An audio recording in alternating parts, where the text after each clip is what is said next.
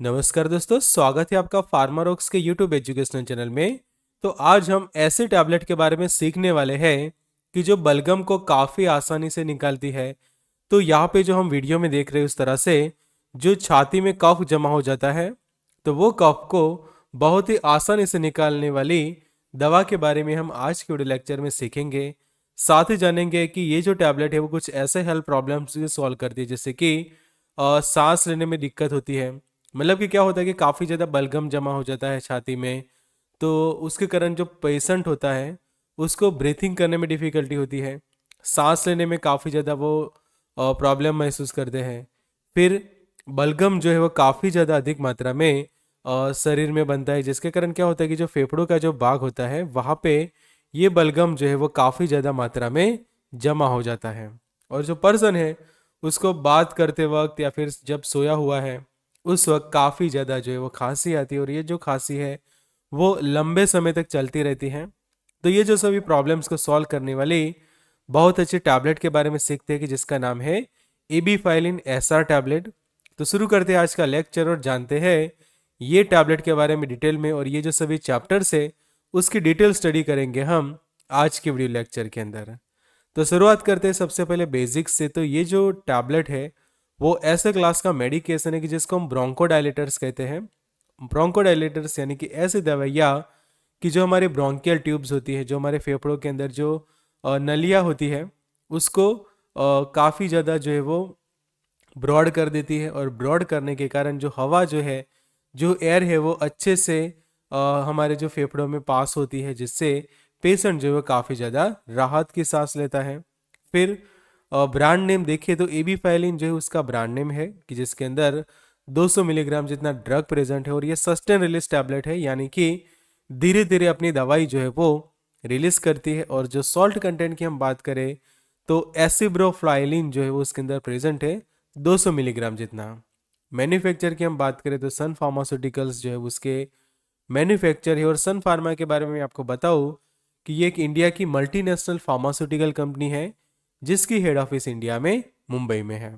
तो यहाँ पे आप समझो तो ये जो टैबलेट के जो यूज़ है तो जो रेस्पिरेटरी प्रॉब्लम्स होते हैं मतलब कि जो हमारा श्वसन तंत्र है, उससे जुड़े जो प्रॉब्लम्स होते हैं, जैसे कि अस्थमा है सीओपीडी का जो प्रॉब्लम है, और उसमें यह होता है कि कई बार बलगम काफ़ी ज़्यादा बनता है, छाती में कप जमा हो जाता है, जो ब्रोंकियल ट्यूब्स होती है, वो काफ़ी ज़्यादा जो है वो सिकुड़ जाती है तो उसको ब्रॉड करने के लिए ये मेडिकेशन जो है वो हेल्प करती है और ब्रोंकाइटिस के प्रॉब्लम को भी सॉल्व करने में A B phylline R tablet को जो है वो प्रिस्क्राइब किया जाता है। तो जो सांस लेने में दिक्कत होती है, सांस की तकलीफ़ होती है, फिर बलगम काफ़ी ज़्यादा अमाउंट में बन जाता है शरीर में और वो आसानी से नहीं निकलता तो ऐसे समय में A B phylline S R tablet को यूज़ करने से ये जो सभी प्रॉब्लम्स है वो ठीक होते हैं और पेशेंट को जो है वो काफ़ी ज़्यादा जो है वो प्रॉब्लम्स में राहत मिलती है। तो यहाँ पे मैं वीडियो के बीच में आपको एड ब्रेक लेके बताना चाहूँगा कि जैसे हम आज के वीडियो में ये टैबलेट के बारे में सीख रहे हैं, बलगम के बारे में सीख रहे हैं और फिर सीओपीडी जो है, अस्थमा है तो ये सभी बीमारियों के बारे में आपको डिटेल में सीखना है, उनके उपचार के बारे में सीखना है कि कौन सी दवाइयाँ यूज़ होती है। तो जो हमारी बुक है, उसको आप ज़रूर से परचेस कर सकते हैं, जो डिसीज एंड ट्रीटमेंट बुक जो है वो अब रेडी है। तो ये बुक को परचेस करने के लिए आप दिए गए नंबर पे हमें व्हाट्सएप कर सकते हैं। तो अब आते हैं टॉपिक पे और समझते हैं उसके लेवल के बारे में। तो A B phylline S R जो टैबलेट है वो आ, हम देखें तो सस्टेन रिलीज़ टाइप की टैबलेट है और सस्टेन रिलीज़ टैबलेट में ये होता है कि उनके अंदर जो ड्रग होती है वो काफ़ी धीरे धीरे रिलीज़ होती है और लंबे समय तक वो अपनी इफ़ेक्ट देता है। और 200 मिलीग्राम जितना ये एक टैबलेट के अंदर एसिब्रोफ्लाइलिन जो वो प्रेजेंट है। यहाँ पे रेड लाइन है मतलब कि वो इंडिकेट करती है कि ये जो मेडिकेशन का सेल्फ मेडिकेशन नहीं करना है प्रिस्क्रिप्शन के साथ ही जो है उसको यूज़ करना है। टैबलेट के टाइप की हम बात करें तो ये सस्टेन रिलीज़ टाइप की टैबलेट है और अनकोटेड है, उसके ऊपर किसी भी तरह का कोटिंग नहीं किया है।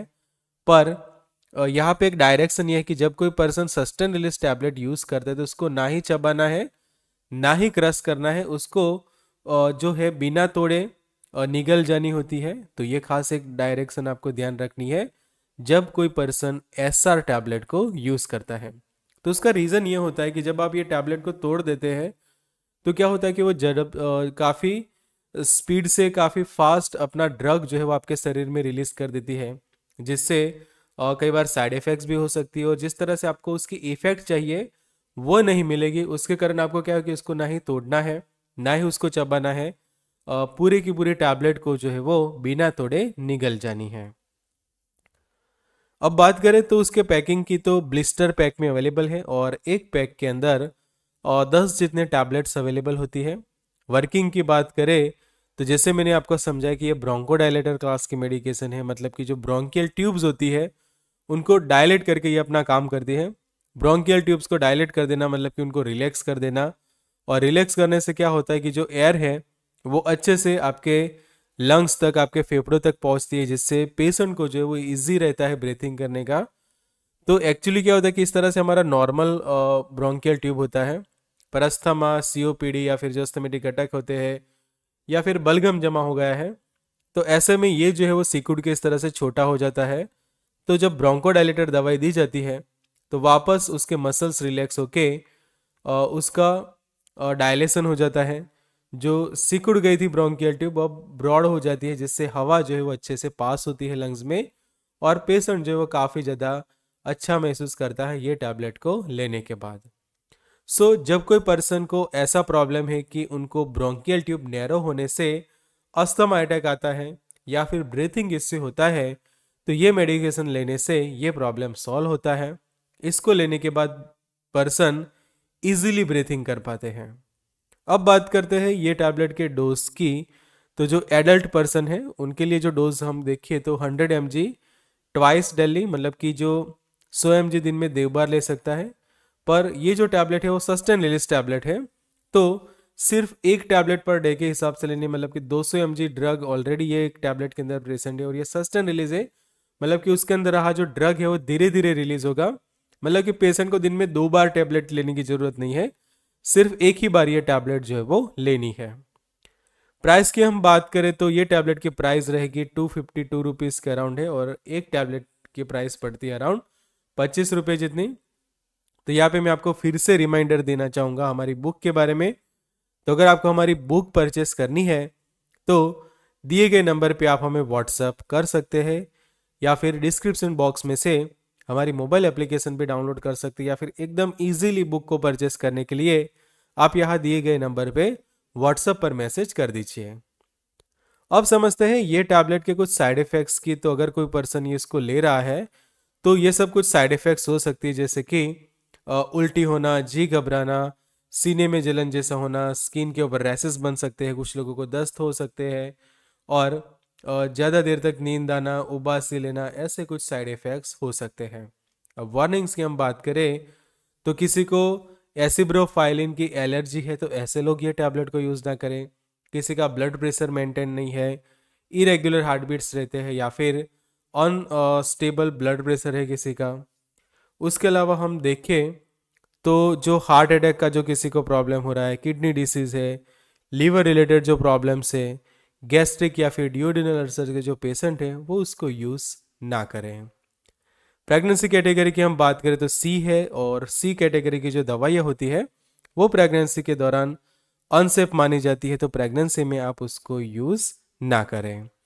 फिर यहाँ पे जो लिस्टेड जो दवाइयाँ है, उसके साथ ये ड्रग ड्रग इंटरेक्शंस करती है। मतलब कि अगर आप ये दवाइयाँ यूज़ कर रहे हैं तो कॉम्बिनेशन में ये मेडिकेशन को यूज़ आप ना करें। तो अगर आपको मेरा ये वीडियो अच्छा लगा है तो यहाँ पे क्लिक करके आप मेरा ये वीडियो भी देख सकते हैं जिसमें भी मैंने आपको बहुत अच्छी इंफॉर्मेशन दी है। So good luck and all the best